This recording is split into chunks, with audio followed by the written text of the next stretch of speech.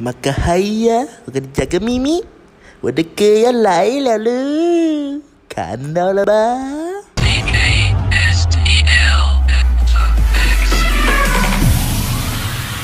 I stay.